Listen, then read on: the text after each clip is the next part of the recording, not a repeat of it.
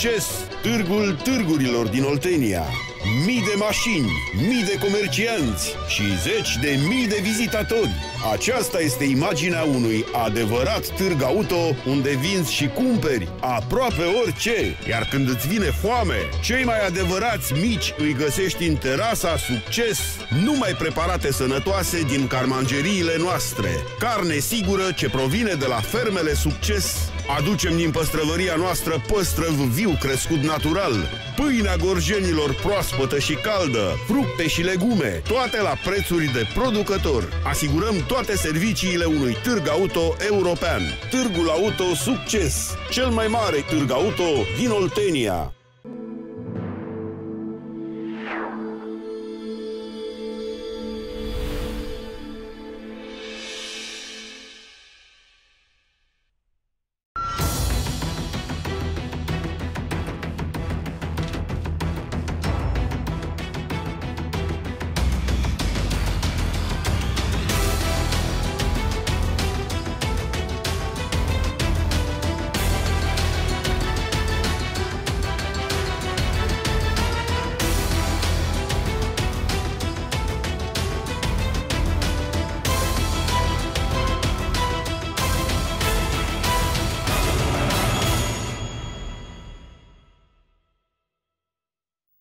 Seara și bun găsit, dragi prieteni, la o nouă ediție a emisiunii Punctul pe ei, din nou în uh, fața dumneavoastră în această seară. Un cadru didactic uh, universitar uh, cu reputație la nivel județean și nu numai prin intermediul căruia vom reuși să pătrundem un pic în culise la ceea ce se întâmplă în viața noastră publică, în acest stabiliment social în care trăim cu toții și viețile noastre, destinele noastre depind foarte mult de deciziile politice care se iau atât la nivelul județului Gorj cât și la nivel național taxe, ați văzut impozite, prețurile la curent, la gaze, toate se repercutează asupra bănuților aceia și așa din ce în ce mai puțin care intră în buzunarele noastre ale tuturor. Astăzi, în fața dumneavoastră, doamnelor și domnilor, domnul Sorin Purec, profesor universitar la Universitatea Constantin Brâncuș. Bună seara, bine ați venit! Bună seara, bine v-am găsit! Bună seara dumneavoastră și telespectatorilor dumneavoastră! Și aș vrea să intrăm și în tematica noastră din această seară. Cine sunt cei care sunt responsabili de viețile noastre, domnule profesor? Până la urmă, fie că e vorba de cel care este strungar, fie că e vorba de miner, fie că e vorba de cadru didactic, fie că e vorba de angajat în presă, cu toții depindem de deciziile pe care le iau capetele luminate să-mi fie cu îngăduință, între ghilimele de rigoare, respectiv uh, aleșii noștri care vreme de 4 ani sunt chiriași în funcțiile pe care le ocupă.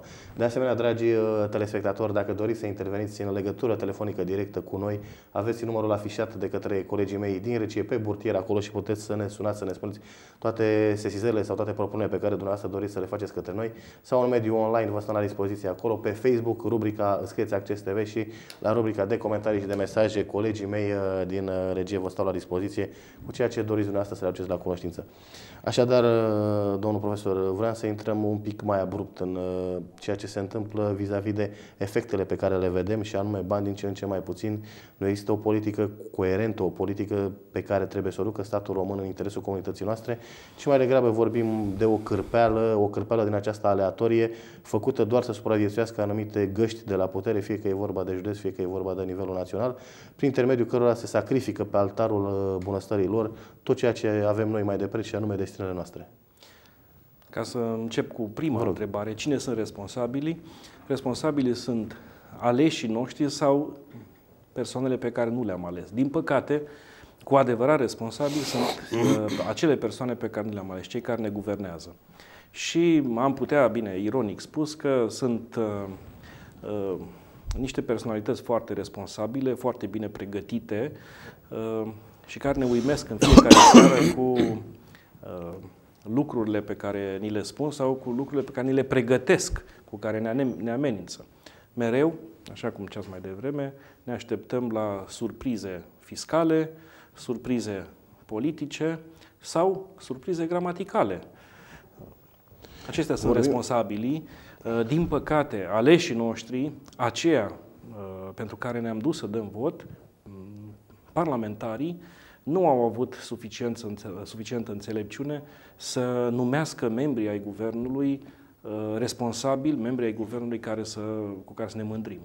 Cum vi se pare vi se par cei care ne conduc acum și nu fac referire la niciun fel de coloratură politică, fie că e vorba de PSD, ALDE sau mai știu care, la absolut niciun fel de coloratură, cei care ne conduc acum raportată la elita pașoptistă care a fost pregătită în străinătate, a venit în România și practic a desțelenit țara. Hai să facem o comparație față de cei care într-adevăr însemnau ceva pentru țara noastră și cei care ne conduc acum.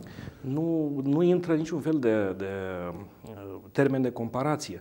Nu, intră, nu putem face comparații nici măcar cu guvernările anterioare, fie ele liberale, țărăniste, pesediste, oricum ar fi fost.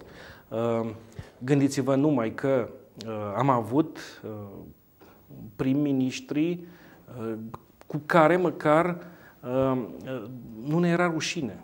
Nu, defilam în Europa și în lume cu deci prim-ministri nu era de niciun fel de problemă, da, noi, dar da? și mai nou, și după Revoluție am avut un prim-ministru, de exemplu Adrian Năstase, care era profesor universitar, adică un om Nu, nu era un om cu ștaif, dar era cultivat, nu se punea da, problema era că, uh, că și dacă a făcut greșeli, și dacă a făcut rău, este foarte clar că omul acela a, a făcut-o cu intenție. Mie mi-este cel mai teamă de uh, conducătorii și de politicienii noștri care fac greșeli din tâmpenie. Asta vreau să subliniez. Pentru că este o mare problemă, pentru că ți-e frică cu ei nu ai încredere nici măcar că te fură și pur și simplu greșesc și te păgubesc așa absolut inutil, nu folosește nimănui. Vis-a-vis de comparația care ați făcut-o între Adrian Năstase și gruparea lui Dragnea, care se află acum înșurubată la butoanele puterii, într-adevăr Adrian Năstase era un tip cu ștaif, un tip cultivat, un tip, un tip destul de pregătit, avea un fel de cultură a faraonismului, deci omul era faraonic în tot ceea ce făcea. Spre deosebire de ăștia, parcă niște businessari de talcioc luați de la tarabă și mutați acolo la Guvernul României. Bineînțeles, se vând pe bani mărunți, ca să spunem așa. Nevând, cred că mai degrabă nevând Sau pe nevând bani, pe din bani nefericire pentru... Din păcate, ce vând ei este România, pentru da, că asta este. Uh, sunt stăpâni pe avuția națională, pe bugetul uh, național, sunt stăpâni pe tot. Pe bugetul este... care nu, că n-a trecut încă. Nu are importanță. Îl au la dospit acolo. Da, îl au la dospit, o să fie imediat stăpâni. Că au, uh, dacă ne întoarcem în urmă, până și perioada comunistă, care a fost așa o perioadă uh, destul de tulbure, dar până la urmă s-a echilibrat. Și a avut conducători, tehnicieni de bună calitate, care au reușit să, să țină un echilibru. Dacă mergem mai în urmă, nu mai avem niciun fel de posibilitate de a compara niciun politician cu ce avem acum. Uh, nu mai putem compara nici cu, Bă, cu Brătianu, nu mai putem compara oh. nici cu Tătărăscu, nu mai putem compara cu nimeni. Până și, așa cum uh, apăruse discuția pe la niște capete luminate din uh, partea de guvernământ, până și străinul, străinii din clasa politică românească, vorbesc de Casa Regală, au fost mult mai români decât românii de aici au modernizat România, au fost cu adevărat patrioți. Uh, gândiți-vă numai că o casă regală de Hohenzollern a intrat în război împotriva Germaniei. Pentru că așa a simțit că vrea țara, așa a vrut clasa politică românească și s-au supus. Uh, chit că sufletul îi trăgea în partea cealaltă. Dar Iată ce înseamnă politician care își înțelege rostul, care se dedică țării pe care o conduce și pe care o reprezintă și care nu își pune problema că are el plăcerile lui sau înclinațiile lui sau dorințele lui. S-au Vor... sacrificat mereu. Vorbim mai degrabă vis-a-vis de ce spuneți dumneavoastră de un comportament din ăsta de bulibașă la un stabore în care prevalează dorințele lui egoiste pe care le are și modul în care dictează vis-a-vis de prietenii cu metrii sau mai știu ce are, raportat la un mod democratic care ar trebui să ne caracterizeze, un mod în primul rând în care instituțiile să fie pe primul loc pus în prioritățile de decizie, nici de crum grupările dintr-un partid sau altul sau frica de o decizie pe care o poate da o instanță de judecată prin care pe șeful cel mare suprem să-l trimită la pușcărie. Bineînțeles. Ca să mai vorbim de uh, situațiile acestea pe care le vedem mereu, pentru că avem politicieni care au fost condamnați penal sau care sunt cercetați. Uh, și scapă de vineri, o să scape de uh, vineri, dar, o să vedeți. Dar numai, problema este cum un politician care a ajuns la 40 de ani este excesiv de bogat, cu toate că el nu a deținut decât funcția politică. Uh, a, se vedea Udrea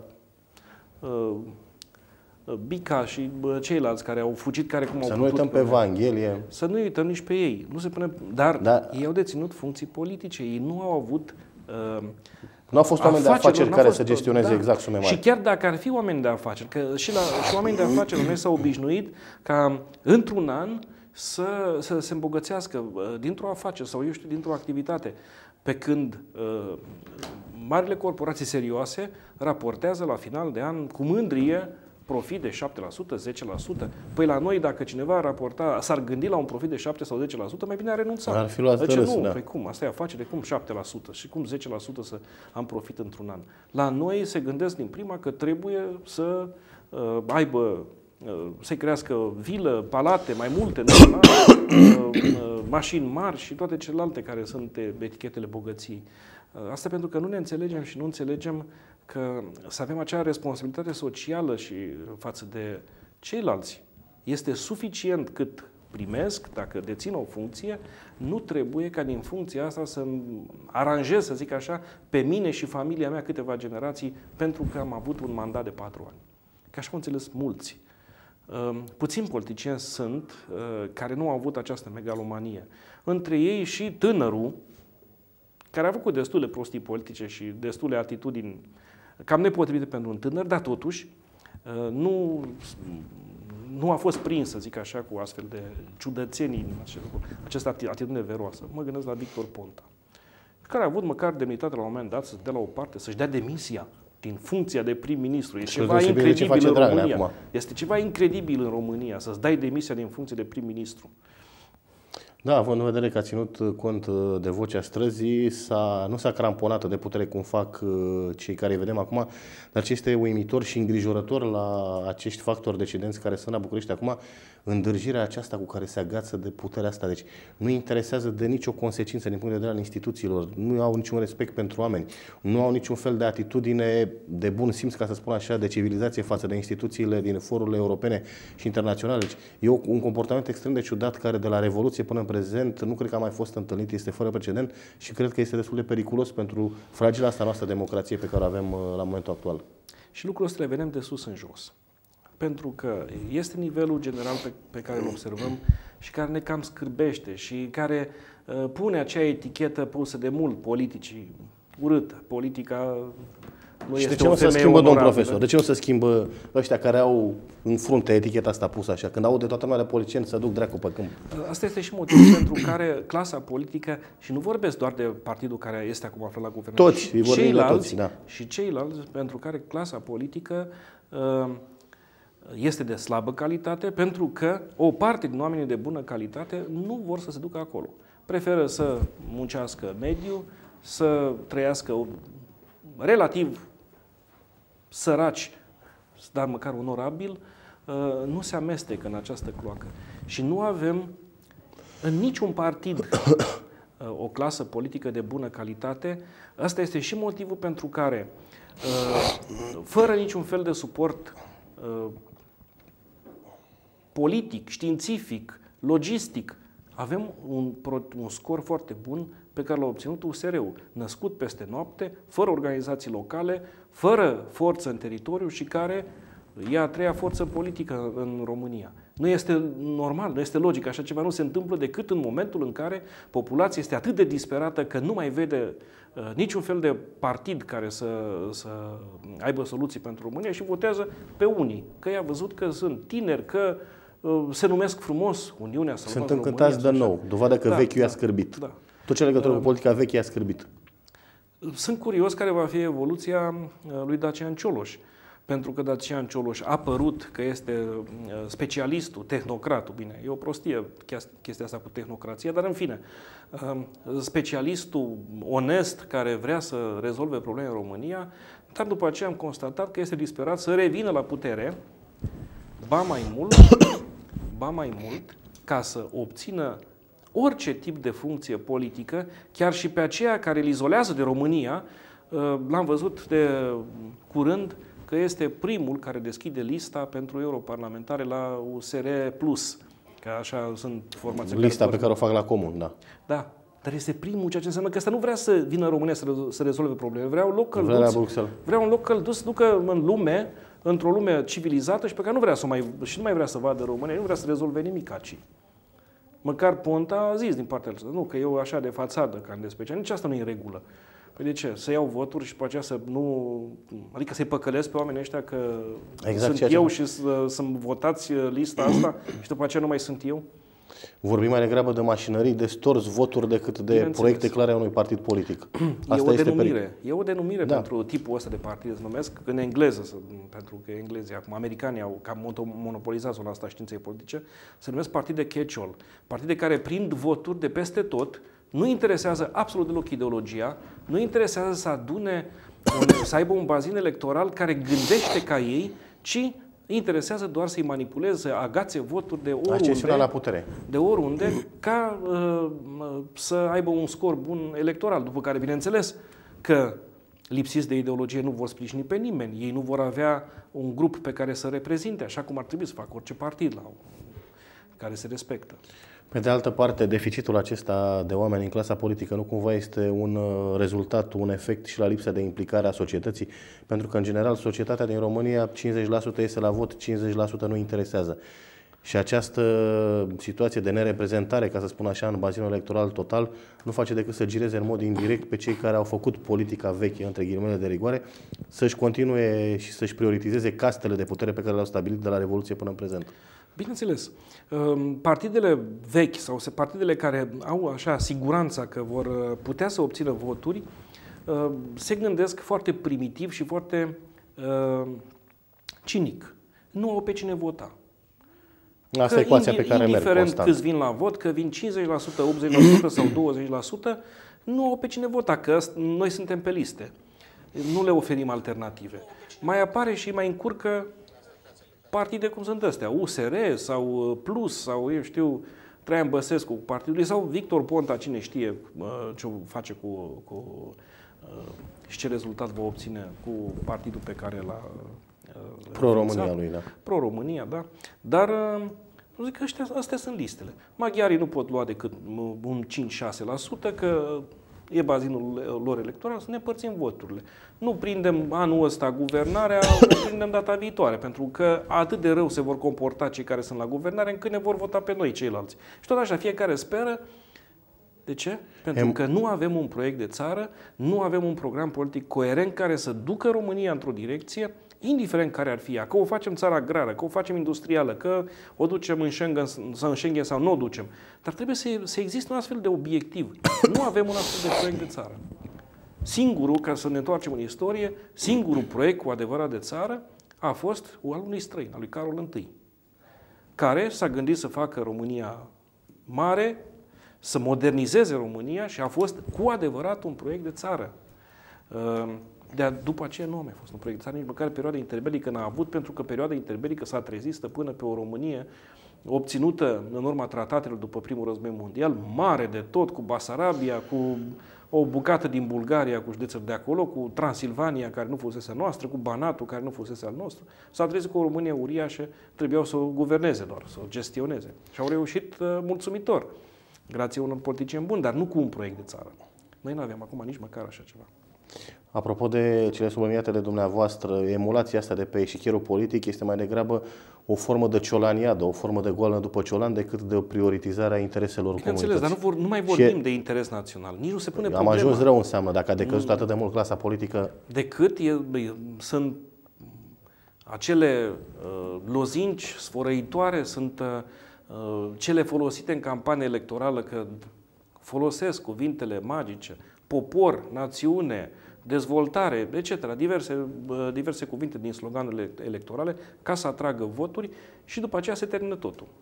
Pentru că ajung la guvernare, indiferent care, și nu sunt decât mici administratori ai averii naționale care se gândesc uh, în fiecare secundă cum să reușească, cum să-și ia și ei partea lor cât se poate de mare de acolo. deci vorbim să ne luăm tainul, Bineînțeles. le aruncăm cu ideologia în față, le aruncăm Nici cu nu- prioritățile nici măcar comunității, le ideologia. aruncăm, da, Nici așa. măcar. Pe noi ne interesează accesul la resursele bugetare și cum să le redistribuim eu, după eu aceea. sunt convins că o mare parte din clasa politică de vârf, asta pe care o vedem că stă în vârful partidelor, dacă ar fi întrebați serios în ce constă ideologia partidului Da, pe, n-ar ști să care, răspundă. pe care îl reprezintă, nu ar ști ce să răspundă. Ca să nu mai vorbesc că sunt partide cum au apărut astea noi acum și care vor să obțină voturile noastre, uh, dar nu au organizații locale, nu au sprijin cetățenesc uh, real, uh, unde nu este clar nici pentru ei, de la înființare, care este ideologia și pe ce parte a eșichierul politic se așează. Vorbim de șichier politic. Credeți că la ora actuală mai sunt interesați și liderii, de poli- și liderii politici și cei care sunt în eșalonul 2 de doctrină, de țară? Pentru că am stat și m-am uitat la anul centenar, ce numai recent s-a încheiat anul 2018. Mie mi se pare o rușine ceea ce s-a întâmplat dacă ne raportăm la istoria noastră, la trecutul nostru, cu batjocuri. Adică fasole mici, pe aici, fasole, pardon, vin fiert și cu puțin ciolan acolo sau că n-a cine mai pune fasolea aia, s-a încheiat anul centenar. Mi se pare o rușine cum am ajuns și cum Da, tratează și- politicienii românii, în primul rând. Și mai este și celălalt. Farosolea și cu Ciolanu au devenit embleme naționale. Dar când au fost vreodată aceste, uh, ac- aceste lucruri embleme naționale, încât să le folosești mereu? Uh, sărbătoare naționale înseamnă fasole și ciolan. Să fim serioși. Da. E o mâncare de front. Nu înseamnă nimic. Păi Noi suntem în permanență pe front, da. ne luptăm în permanență cu politicienii, poate ăștia au dedus la un nivel subliminal, bă, ăștia, societatea se luptă cu noi, hai să le dăm ca motiv pe foarte- front, da, Dintr-un vin motiv, fier. foarte, da, dintr-un motiv foarte simplu. Fasolea rezistă foarte bine, ciolanul este afumat și la fel îl ții câteva luni. Deci este da. mâncare de front. Nu, a- nu are ce să caute, nu avem legătură cu, cu zi națională, cu uh, românismul, cu... Ba mai mult, uh, vorbim de centenar și aducem fasolea cu ciolanul în prim plan. Aia de fapt se vede. Fasolea și ciolanul.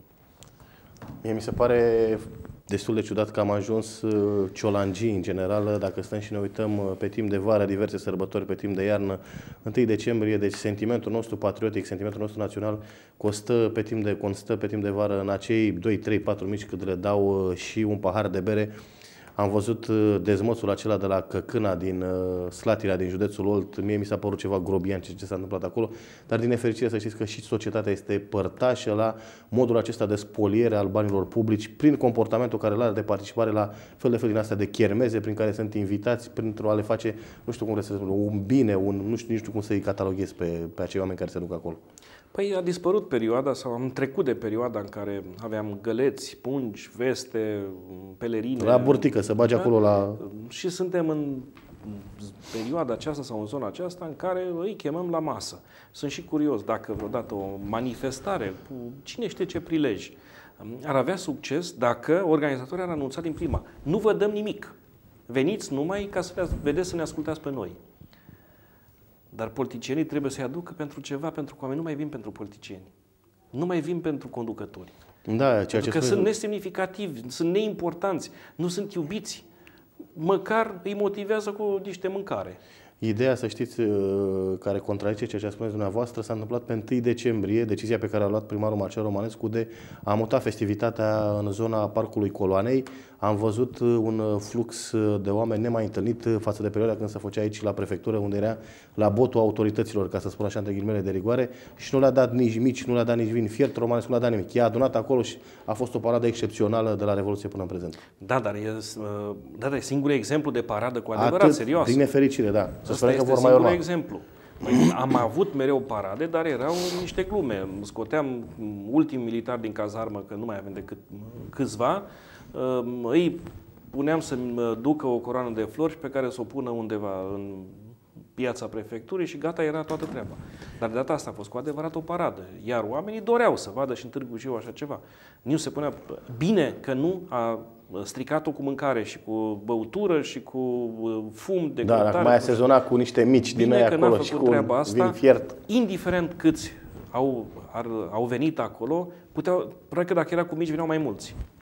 Și așa a fost plin, nu știu dacă mai încăpeau și alții. Uh, dar bine că nu, a, nu, s-a, nu s-a făcut treaba asta pentru că a rămas elegantă, uh, sobră, Nu, o manifestare frumoasă. de bun simț, în primul da, rând. o manifestare de bun simț. Ceea ce... Oricum a avut avantajul că era totuși manifestare de centenar și organizată mai, mai serios, mai fastuos. Uh, oamenii au participat mai mult, au participat și din curiozitate. Și acum vine întrebarea de ce doar uh, manifestări atât de palide am avut uh, de centenare extrem de estompate și nu vorbesc de nivelul Târgu Jiu sau Gorjul, vorbesc de la nivel național. Parcă nici n-am trecut uh, de anul centenar. A Acum fost un an banal în care toată lumea și-a scos căciula în față la toată lumea și la revedere. Da, păi, cum să zic, din punctul meu de vedere este, a fost umbrit totul de uh, această guvernare a noastră nu-ți vine când îi vezi că ei organizează și ei trebuie să fie...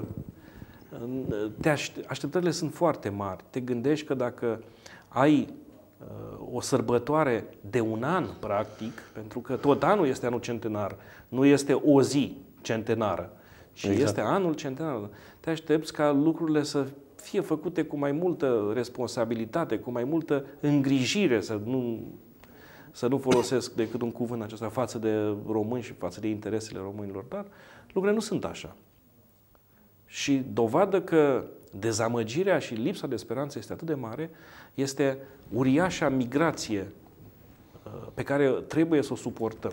Rămânem câțiva și probabil că noi suntem între uh, persoanele la vârsta adultă, care mai stăm puține, care mai stăm prin România și muncim aici, indiferent ce facem, dar uh, prin târgu, dar e, e un dezastru pentru că nu mai avem tineri care să muncească.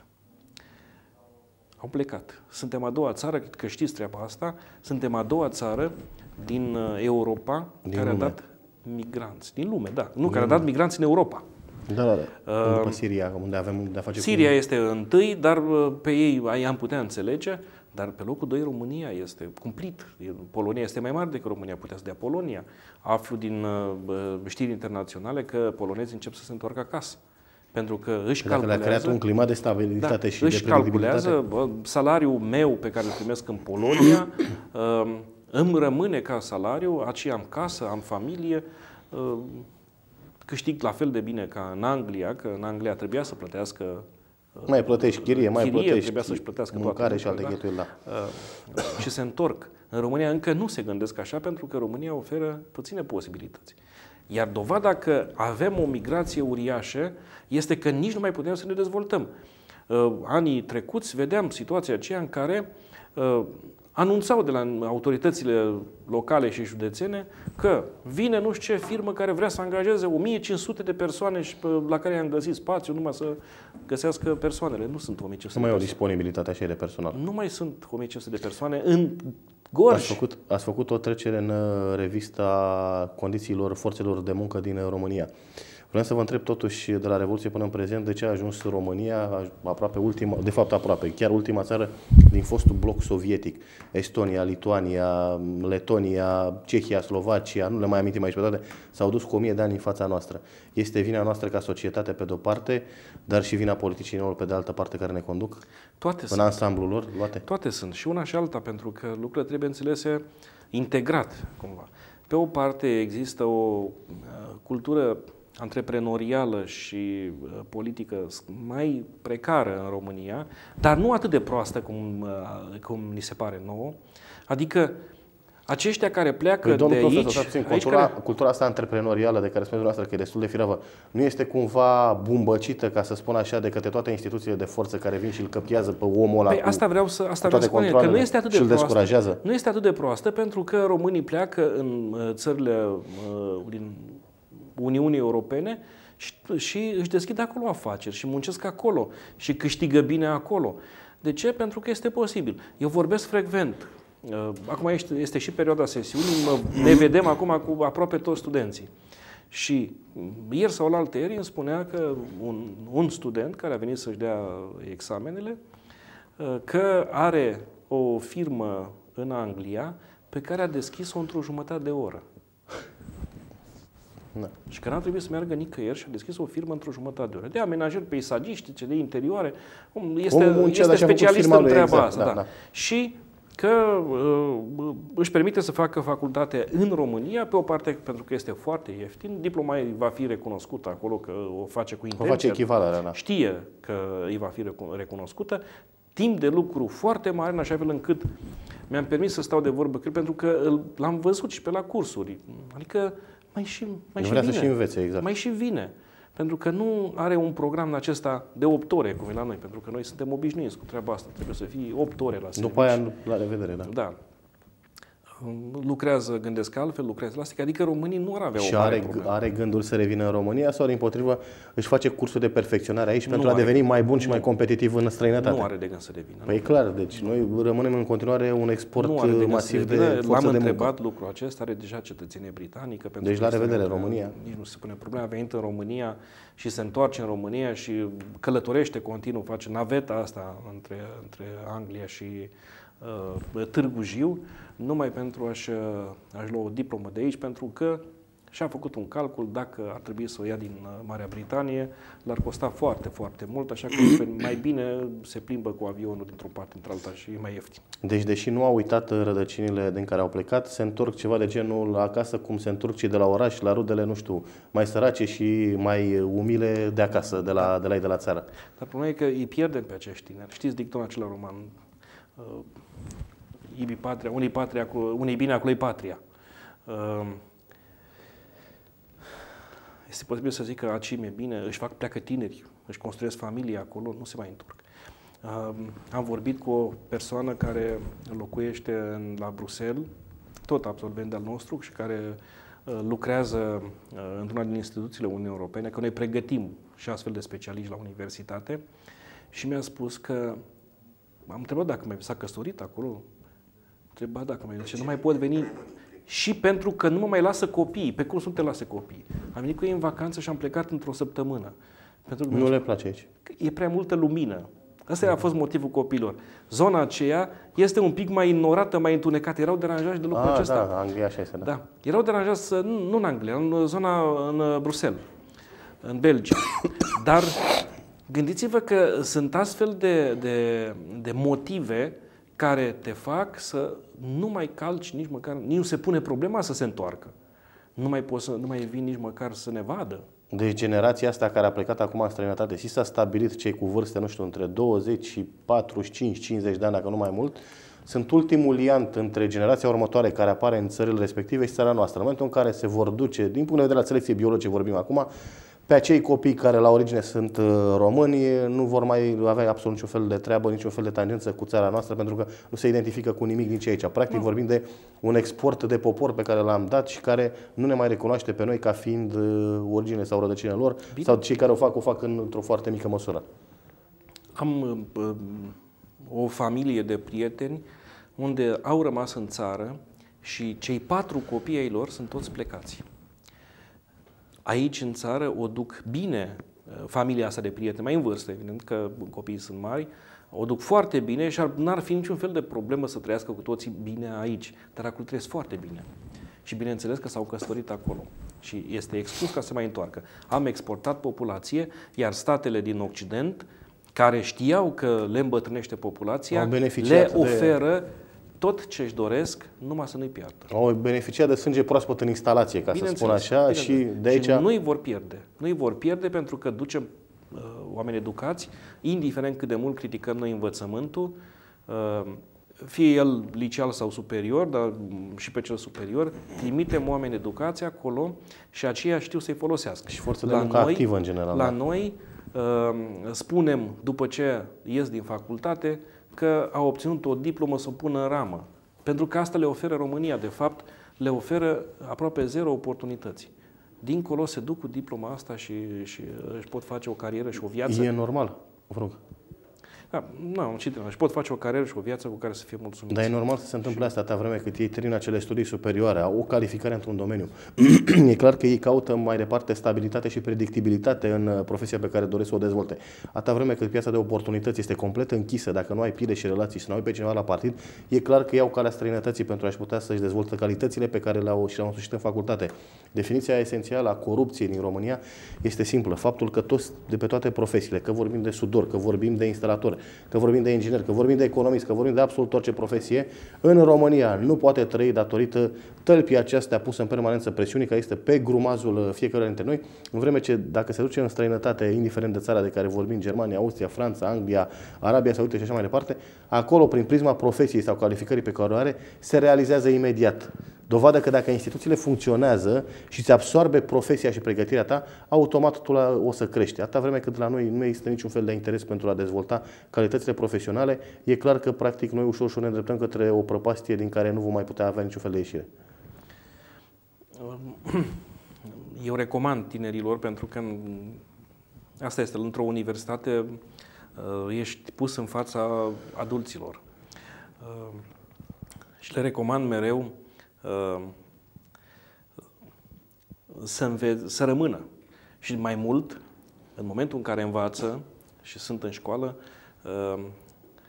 să se concentreze pe ceea ce fac, pentru că toată lumea va avea nevoie de diploma lor acoperită de cunoștințe.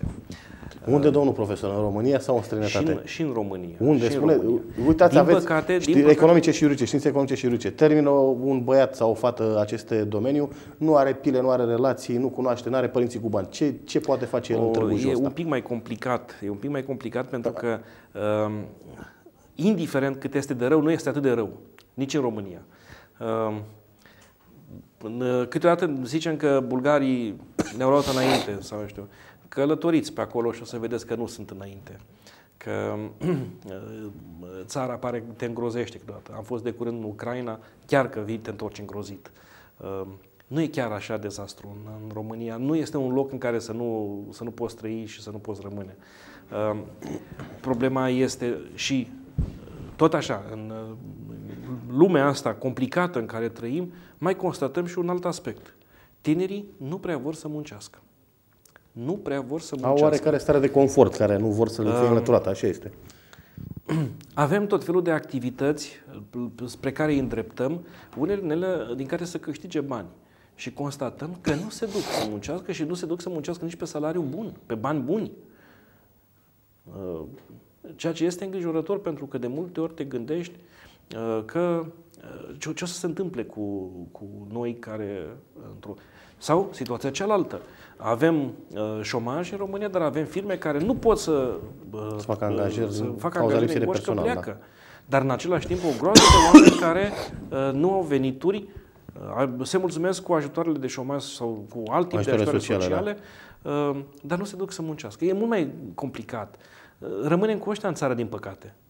Care deci, e problema? Ăștia ne Problemele noastre sunt mai degrabă sociologice. Sunt de toate felurile și uh, Care? sunt mai complicate puțin.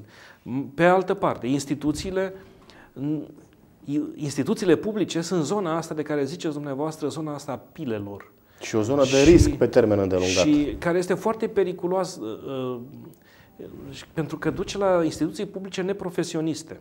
De exemplu, uh, avem specializare în Universitatea Administrație Publică. Uh, tinerii sunt atrași pentru că se gândesc că se duc în administrația publică, unde salariile au început să crească, sunt mulțumitoare. E bine să lucrezi la stat pentru că primești de la capul locului un salariu uh, mai bun decât în Domnul privat, profesor, și foarte bine că e, o, e o creștere nesustenabilă, e o creștere a salariilor de, de susținută pe baza împrumuturilor trase de la Fondul Monetar dar Internațional. Dar au crescut. Dar, au dar crescut. în 2021, ce facem în 2021 după ce se vor termina alegerile? Nu se va tăia în carne vie din nou salarii? Asta tăia, nu înțeleg ce de la buget. Se, probabil că se va tăia. Dar uh, nu, că alta era uh, lucru, alta era ideea pe care vreau să o spun. Deci, specialiștii sunt formați, dar dacă ne uităm în instituțiile publice, nu sunt angajați și constatăm că angajează ingineri, angajează tot felul de, uh, de persoane uh, fără să țină cont de fapt că au nevoie de niște oameni care se pricep la domeniul acela, care au învățat câțiva ani ca să poată face față cerințelor unui astfel de post și angajăm uh, cu totul alte. Cerința este... Așează politrucii de obicei. Cerința este uh, studii superioare.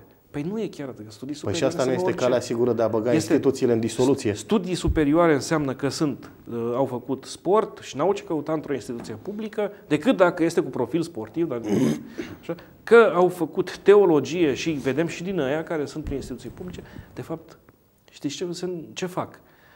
Fac concurs de dosare, concurs de pile.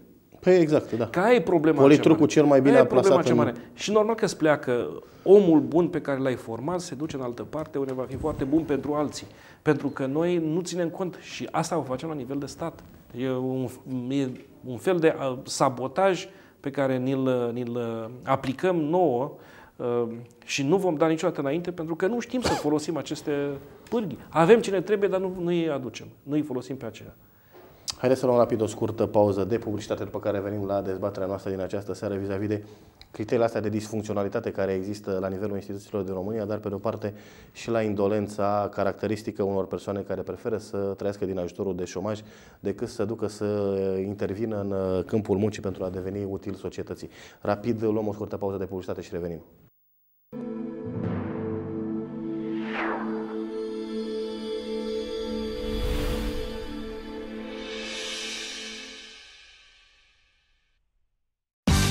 Secolul vitezei, permisul de conducere este obligatoriu, iar cel mai simplu mod de a-l obține este să te înscrii la Școala de Șoferi Succes. Școala de Șoferi Succes. La noi te pregătești pentru orice categorie, începând de la motoscutere și motociclete și până la autobuze și camioane, inclusiv cu remorcă. Instructorii noștri sunt profesioniști și te ajută să înțelegi orice neclaritate întâmpini. Fii un șofer cu succes. Alege școala de șoferi Succes. Mai multe detalii pe șofercusucces.ro sau la telefoanele afișate pe ecran.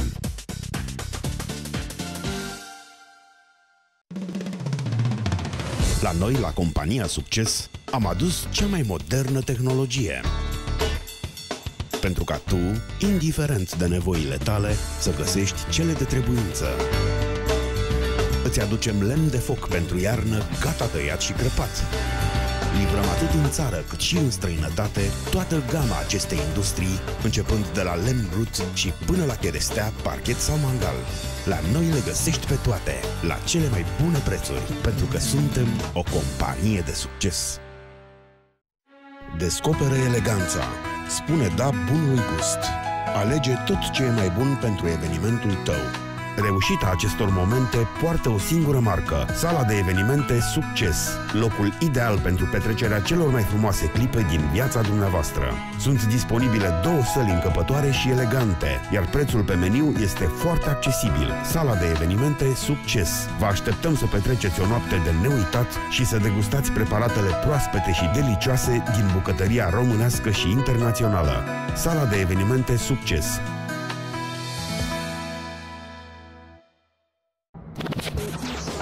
Mihăiță, tu n-ai spălat mașina. E, știi tu că n-am spălat mașina. Mihăiță, tu n-ai spălat Bine, mașina. n-am spălat mașina. Mihăiță, de ce n-ai spălat mașina? Uite, de-aia n-am spălat mașina. Speli imediat mașina. Ce faci, dragă, ai nebunit? Nu, dragă, spăl imediat mașina. În orice situație și la orice oră, spălătoria Succes te așteaptă să-ți facă o baie bună la mașină, să miroase a nou. Oferim servicii de spălare și cosmetică auto pentru toate tipurile de autovehicule la prețuri avantajoase. Personalul este calificat, iar produsele folosite sunt profesionale. Succes! Calitatea ne reprezintă, prețul ne recomandă.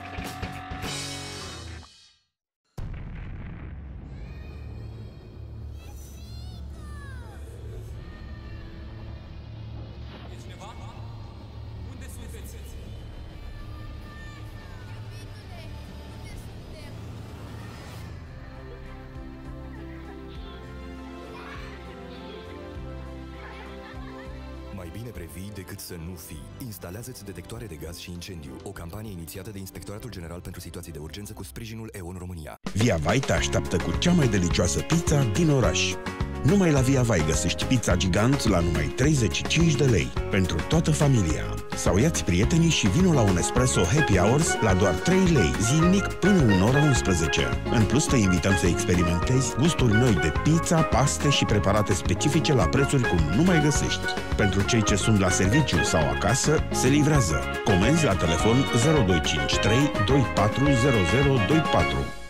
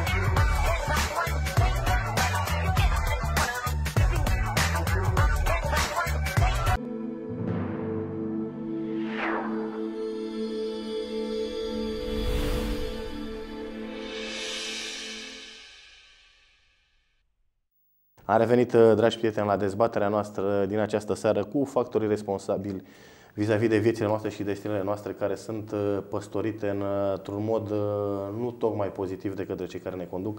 În fața noastră, în continuare, profesorul universitar de la Universitatea Constantin Brâncuș, domnul Sorin Purec și de asemenea dumneavoastră vă, vă mulțumesc pentru mesajele pe care ne transmiteți mai ales în mediul online și că sunteți alături de noi. Am tot vorbit, domnul profesor, de contextul național, dar și contextul internațional al exportului de forță de muncă, al condițiilor economice, dar și translația aceasta care se face dinspre noi către Occident și noi nu mai beneficiem nimic, adică de absolut uh, nimic în uh, schimb uh, forța de muncă pe care o exportăm se stabilește acolo, automat vor face copii și generația viitoare este complet străină de rădăcine pe care le-au avut părinților de România. Aș vrea să ne referim acum ușor, ușor, să mai venim și pe meleagurile noastre aici, pe malul Jiului, la politica noastră din uh, județul Gorj și aș vrea să facem uh, rapid o trecere în revistă de la Revoluție până în prezent. Dacă dumneavoastră vi se pare normal, nu știu cum a evoluat uh, județul Gorj și condițiile economice de aici și forța de muncă la fel extrem de importantă care a fost exportată în, în țările Occidentului.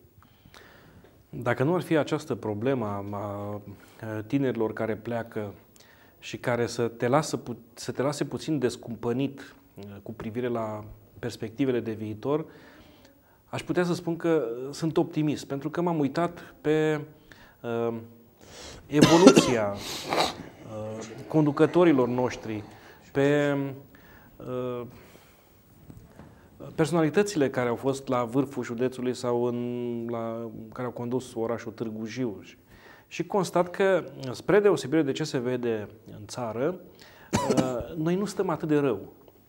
Adică eu simt că în momentul de față primăria Târgu Jiu este condusă de un tânăr cu perspective bune și care este bine format, bine intenționat. Consiliul Județean la fel este condus de un președinte tânăr în, în care cred că are, despre care cred că are potențial. Da, sunt că, altceva și Romanescu uh, și Codin Popescu. Da. Uh, lucrurile sunt în, înspre bine și nu am sesizat la ei uh, acel tip de oportunism, acel tip de atitudine din aceasta hrăpăreață, să, să se îmbogățească subit, să uh, devină uh, puternici și din perspectiva asta, din prisma asta, bogăției nemăsurate, așa cum se discuta despre alții. Asta în, nu cumva a fost o obsesie primitivă a celor care a condus uh, dinainte? Da, dar asta înseamnă că nu erau, nu erau de, de bună calitate, nu trebuiau să fie politicieni. Dar asta arată Gorju și Târgu Jiu în halul în care arată. Probabil că ăsta este motivul. De aceea am speranțe. Clasa politică din momentul ăsta se este bună. Credeți că este se bună. Uh, vorbim de Gorj și de Târgu Jiu acum. De, de, de Gorj și de Târgu Jiu, pentru că vorbim de Consiliul Județean, avem o clasă politică de calitate mai bună decât, decât în trecut. Uh, ba mai mult, constat că și în PSD uh, personal, personalitățile mai în vârstă, cu toate că dacă vorbim de Florin Cârciumar, nici nu este atât de în vârstă, dar totuși se dă singur la o parte și lasă pe cei mai tineri uh, să-l înlocuiască. Credeți asta? Uh, vi se pare sau aveți convingerea că se întâmplă așa? Uh, Eu am că Cărciumar când face o chestie, mie, tot timpul am văzut, ia opusul. Mm.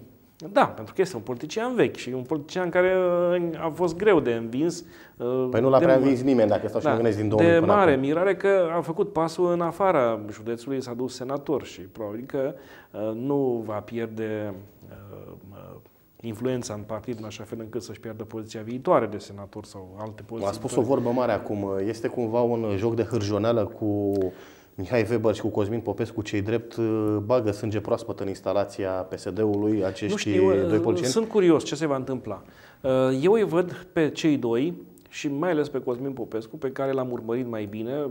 Din păcate, activitatea politică a lui Mihai Weber nu, mi nu este atât de transparentă încât să, să, să pot spune foarte mult de, multe despre el. Dar sunt curios dacă pe viitor nu dau cu luându-i poziția principală uh, din funcția din partid, nu dau cu el peste bord.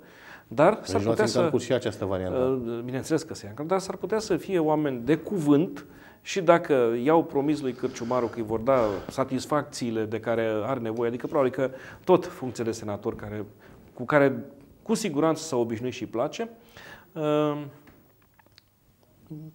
Să vedem dacă eu... Dar ce îl îl las recomandă acolo. pe domnul Florin Cârciumaru pentru funcția de senator? Nu știu, mă întreb Nu, și eu nu, la... nu are prea multe. La, asta vreau să spun de, Nu domnule, are să prea multe ofere lucruri de- actuala conducere, mi se pare mai degrabă un troc periculos, adică, bă, nu ne deranjezi pe noi și noi, în schimb, îți dăm funcția asta de parlamentar.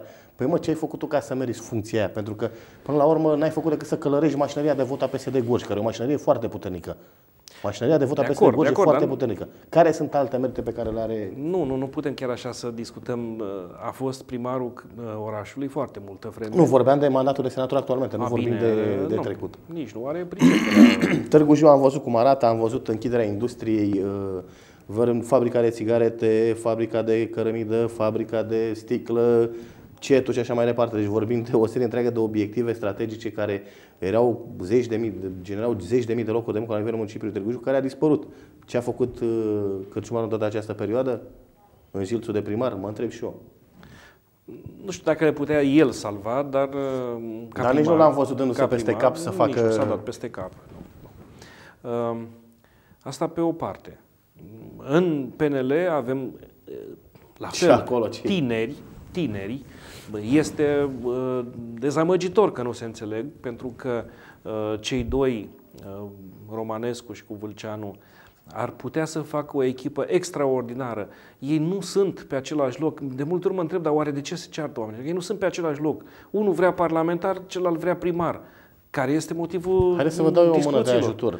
Ad- Dan Vâlceanu- Ajutați-mă pentru Da. că nu înțeleg logica. Imediat. Fiecare a, e pe alt traseu politic. Așa Ei este, trebuie aveți să se tot- încurce unul pe altul și nici nu se încurcă. Ba mai mult, au posibilitatea să se completeze și să ne E mai ofere greu din să se partea Partidului Național Liberal o echipă extraordinară. Păi Doi da. tineri de bună calitate, bine educați, bine formați și care pot Domnul uh, profesor. Să facă politică și la nivel național și la nivel local. Starea de incompatibilitate între ei este dată de scorurile pe care le-a obținut fiecare și funcțiile pe care le ocupă. Și este foarte simplă treaba. Dan Vulceanu a ieșit deputat la redistribuirea resturilor cu un scor de 16%, scor scop, scos de organizația PNL Gorj sub uh, pragul uh, pe care l-a scos PNL la nivel național. Iar pe de altă parte vorbim de un Malcer uh, Romanescu care a scos un scor de 52% într-un fief al uh, PSD-ului și anume municipiul reședință de județ Târgu Jiu. E greu, vorbim de două profile radical diferite, vorbim de doi politicieni cu un tipar radical diferit, vorbim de doi politicieni cu viziuni radical diferite. E greu să existe un numitor comun între cei doi. Bine, eu pot înțelege că uh, pot exista disensiuni, pot înțelege, uh, dar nu pot înțelege de ce ei nu înțeleg că trebuie să convețuiască și că trebuie să supraviețuiască și că ei fac PNL-ul tare. Acum l-au făcut slab. Pentru că dacă Romanescu se- se ține de cuvânt, uh, Romanescu nu va mai fi candidatul PNL. Asta noastră presupuneți că Dan Vulceanu rămâne în continuare liderul partidului cu un scor rușinos de 16%? Este liderul partidului, este parlamentar, are o poziție influentă, este un parlamentar de, destul de vocal, uh, nu este chiar o personalitate politică de neluat în seamă și care nu știe să joace cărțile lui.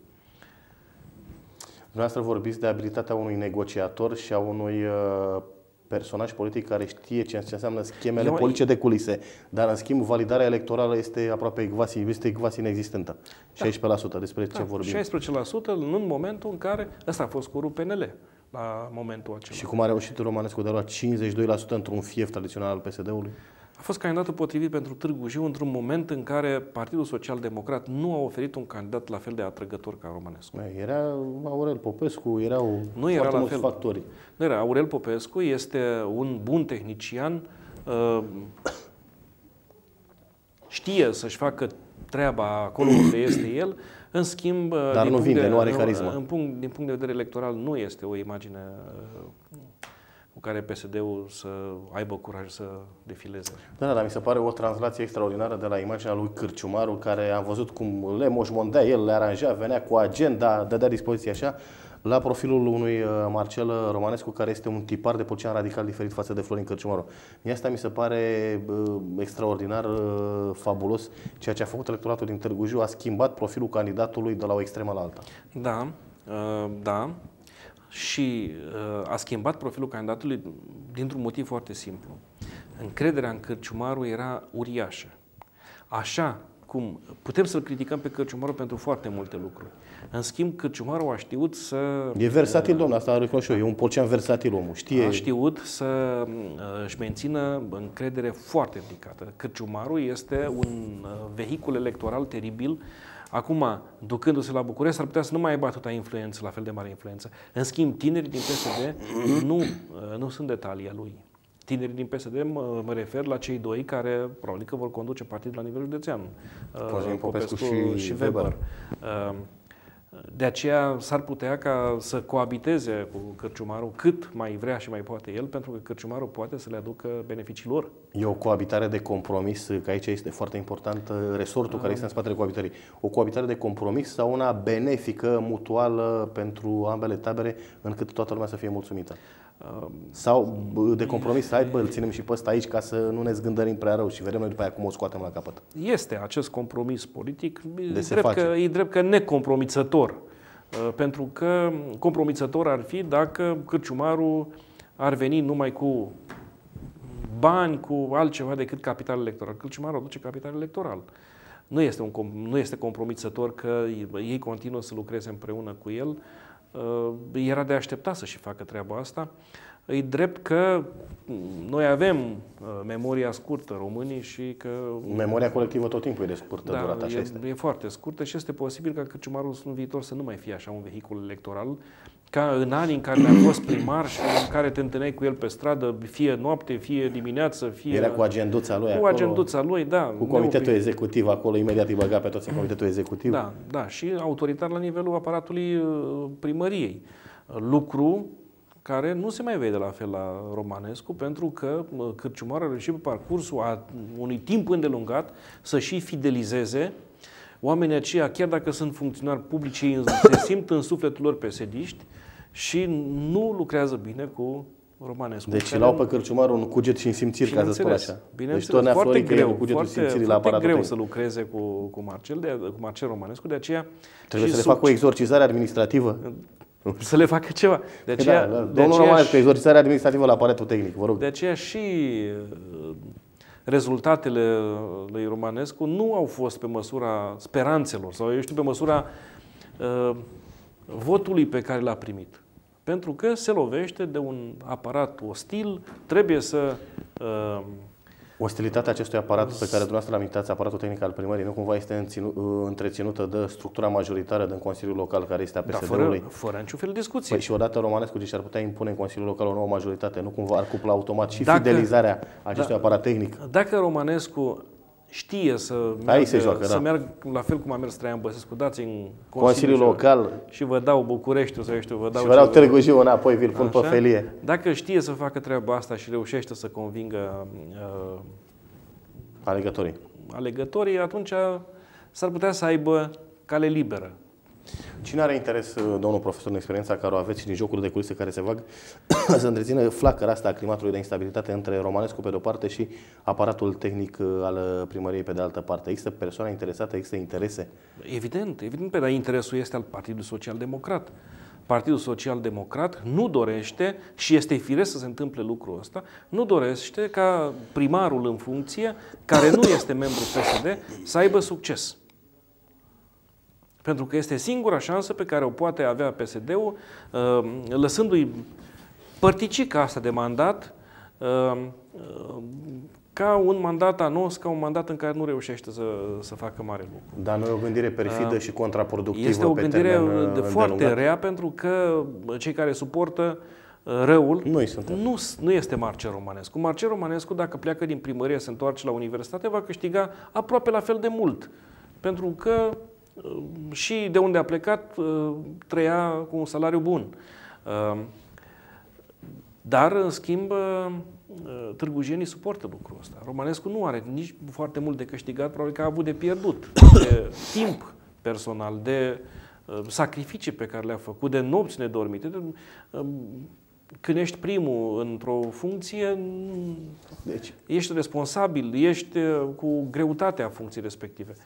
Uh, Și la nivel, apropo de cele spuse de noastră, și la nivelul județului Gorj și al municipiului Târgu Jiu, vorbim uh, mai degrabă de interese de grup, de interese politice, în niciun caz de ideologie, pentru că totul se rezumă la goana după resursele bugetare și cum să redevii în uh, funcția supremă de decizie ordonator principal de cărite să dirigezi unde să duc banii. Din păcate așa este. Din păcate așa este și avem o luptă. uh, Eu sunt Se va încrâncena în perioada următoare. Se va Acum. încrâncena, evident că se va încrâncena și toată lumea își ascute uh, săbiile pentru că se apropie alegerile de tot felul. Uh, Vom avea uh, în continuu uh, împușcături în toate direcțiile. Din păcate, uh, văd împușcături. Deci, pe o parte, admir PSD-ul din Târgu, din uh, Gorj, că vrea să facă trecerea la o altă conducere calmă, uh, liniștită, uh, fără Și eu aștept să văd dacă fără va reuși să se împușcăturile impună, alea da, Cosmin de care, Popescu și de Weber. care tot vorbesc. În schimb, în PNL, între Romanescu și Vâlceanu uh, nu mai există uh, o relație. Uh, Este foarte posibil ca PNL să piardă pe Marcel Romanescu dacă uh, disensiunea continuă. Uh, Domnule că Vâlceanu nu e Ceilalți- lipit pe scaun acolo în PNL, deci vorbiți de parcă domnul Vâlceanu ar fi acolo, nu poate clinti Eu nimeni. vorbesc de Vâlceanu care este președintele partidului. Da, da, da, da, păi tot de același Vorbesc de el Vâlceanu. care, și el poate, cu un birou electoral uh, pe care îl controlează fără niciun fel de emoție, el poate să îl, să îl dea afară pe Romanescu, așa cum a dat afară și pe uh, Consiliul Local. Eu- uh, Pe Mihai Paraschiv. Pe Mihai Eu, din câte Paraschiv. am văzut, în general, un primar municipiu de reședință de județ, uh, dintr-o formațiune general liberală, în momentul în care se impune în, uh, cu un scor electoral detașat, cum a făcut și Romanescu aici, automat preia și președinția partidului, mai ales când vorbim de astfel de deputați senatori uh, parlamentari și la redistribuirea resturilor. Eu altceva aș aduce în Vă discuție. rog. Bine că nu e o tre- o, un argument serios, dar în, în Gorj s-a întâmplat a- treaba asta continuă. Nu știu cum de s-a întâmplat că permanent uh, liberalii din Gorj și-au dat afară din partid parlamentarii. Și oricât m-aș duce înapoi în timp, constat că am avut doi senatori, pe Huidu și pe în trecut. I-au dat afară. Am avut pe Morega, l-a dat afară. Din funcție. Morega a plecat prin demisie. Bine, a plecat prin demisie pentru că era de data, urma să fie dat afară, că a știut că decât să acela, pățească rușinea. Și tot așa, mereu și-au dat afară parlamentarii. Um, În Gorj. Am- um, Nu-i frumos și nu-i bine, pentru că, până la urmă, și dacă scorul este de 16%, cum spuneți dumneavoastră, muncește o organizație județeană patru ani ca să obțină scorul ăla. Și îl dăm afară. Nu-i bine. Dar din, dacă Păi ne ne uităm... pierdem, preferăm să ținem pe ăsta la de Dacă- 16% da. cu redistribuirea resturilor, să-l dăm afară pe ăla cu 52%? Păi 50% intră în localitate. Dar de asta zic, argumentul Păi, dacă calculăm acesta voturile mai pe care- neserios, dar un argument Da, da, care da, se e bate de- de acord. istoric, e de așteptat ca cel care pleacă de aici să fie Vâlceanu, pentru că au știut tot timpul la PNL Gor să execute parlamentarii. Deci dumneavoastră mizați Când pe ai, cartea când asta ai de- executat, eu mizez pe cartea asta pentru că așa se întâmpla mereu. Da, există un precedent uh, vis-a-vis Există de multe cele spuse precedente. dumneavoastră, dar cazul acesta este atipic pentru că PNL-ul niciodată nu a deținut municipiul președință de județ. Să nu uităm că are inclusiv uh, municipiul Motru. Da, de data Fiefurii asta- tradiționale ale PSD-ului și Motru și Târgu Jiu. Da, rezultatul Deci a fost. dovadă că are un alt calibru, o altă alonge la momentul actual PNL-ul, raportat la perioadele trecute unde uh, PNL-ul era grupat în jurul unui lider. E drept că uh, și parlamentarul nostru, unicul parlamentar liberal, uh, Vâlceanu, este și de alt, are o altă imagine publică în comparație cu parlamentarii pe care avut, ne-am avut în trecut. Uh, Frecvent îl vedem în emisiuni televizate, îl vedem cu puncte de vedere mm, pe televiziuni naționale. Uh, Este mult mai implicat și un politician care și-a cam făcut treaba acolo, treaba de politician. Uh, Acum mi-ar părea rău. Eu sper totuși într-un fel de împăcare. Sperăți la un compromis între la fel Sper ca în pentru PSD că, sper și pentru în că PNL. este păcat, păcat ca uh, echipa care se formase, doi tineri bine educați, bine formați, bine intenționați, sper, amândoi, uh, uh, puteau să, să dea un alt suflu Partidul Național Liberal pe care nu l-a avut în Gorj. Cam așa este, cam asta este situația la PNL. Haideți să sărim un pic părleazul și la ALDE. Acolo l-am văzut pe Ion Iordache întronat ca lider în uh, organizație după plecarea lui Dian Popescu. Ce crezi că va face Iordache cu Partidul ALDE? Eu cred că ALDE va scădea. Uh, Asta este părerea mea. Cred că ALDE... Iordache, când a venit de la Turceni, vrea să crească. Normal, este firesc că vrea să crească, dar uh, să-l dorința facă mai nu-i, dodolos, nu-i, așa. tot, nu-i tot una cu, Cu putința. rezultatul. Da. Uh, Vă rog. ALDE a format un politician tânăr, de fapt, politicianul tânăr a format ALDE, vorbesc de Lădaru, uh, Eduard Lădaru, uh, care uh, a ieșit cumva de nicăieri. uh, Da, dar ați văzut, în, când a venit Iordache, i-a zis lui Daru Mucles și Uh, gata. Da, da. L-au, uh, în- i-au închis, să zic așa, microfonul uh, domnului Lădaru. Um, Mai are atitudinii personale, dar nici pe aceea nu îndrăznește să le, să le ducă. Și Pentru nu e că, așa frică de Iordache în partid? uh, pentru că nu este foarte clar care sunt relațiile pe care noul președinte Iordache le are cu restul clasei politice. Știm A, că vorbim de Iordache... legăturile alea transpartinice Bineînțeles, care există. Bineînțeles, sunt legăturile pe care Lădarul le-a tot deranjat. Uh, Dacă Lădarul dă foarte tare în PNL, este posibil ca uh, Se retragă sprijinul politic. ca să se trezească că deranjează pe Iordache. Iordache provine din PNL până la urmă. Uh, uh, Fost primar liberal, din câte mi-amintesc eu. Da. Și cu bune relații la nivelul centrului, la nivelul Partidului Național Liberal. Uh, De aceea își va, nu își va permite un discurs agresiv la adresa PNL. Uh, Afacerile lui s-au derulat sub guvernare în, în timpul guvernării PSD, uh, guvernări județene, la asta mă refer. Nu putem să nu cred că nu există bune relații cu uh, elita politică din Partidul Social Democrat. Ceea ce înseamnă că lui Iordache va fi greu să muște și într-o pașă în alta. Lui Lădaru era ușor de oriunde pentru că Lădaru este avocat, e liber profesionist, pe el nu-l interesează nici unii, nici ceilalți. Uh, în schimb, Iordache va fi mult mai precaut. Ca să nu mai vorbesc că Lă- Iordache nu va îndrăzni să se dea foarte tare la PNL, că este și un protocol, pe o parte, uh, iar pe de altă parte nici nu îndrăznește să supere foarte tare PNL, pentru că el speră cumva în mintea lui că poate, poate o să-l aducă pe Romanescu candidatul ALDE la... la... Da, e un scenariu, dar ceea ce Este spuneți un dumneavoastră, scenariu, dar este un scenariu să pe tragem, care- să pe tragem care o îl promo- concluzie vis-a-vis de situația la ALDE. Politica lui Iordache la ALDE stă sub spectrul afacerilor pe care acesta le derulează. Stă și sub aceasta, da, bineînțeles că stă.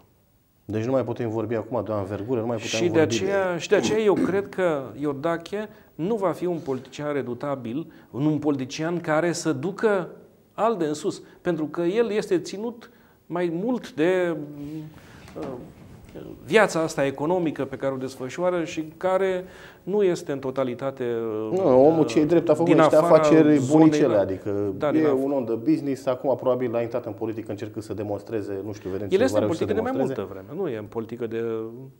Păi a, a fost primar la Turceni, Da, nu e în politică de două zile, nu e da, născut deci ieri. cunoaște cu ce să mănâncă Bineînțeles.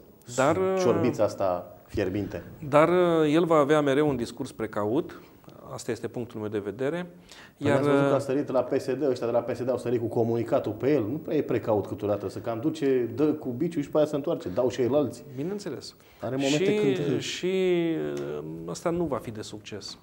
Lădarul măcar a fost radical, uh, a reușit la un moment dat să fie, cred că era la vremea respectivă al treilea candidat, nu? Când în alegerile locale, așa mi-am Și parcă a scos scorul al treilea, dacă nu mă așa. Da, așa mi-am și a scos scorul al treilea. Uh, datorită unui discurs radical și a unui curaj uriaș. A reușit să creeze acel tip de încredere. Mai, omul ăsta are curaj, omul ăsta ne poate spune lucruri, măcar Dar dacă la, nu câștigă. la ora actuală, de relația care o cunoașteți dumneavoastră, care există între Lădaru și Iordache, Lădaru stă într-o expectativă sau este frică de Iordache? Eu cred că nu mai are niciun fel de șansă în, în ALDE. Deci să-și facă bagajul să plece. Nu mai are niciun fel de șansă.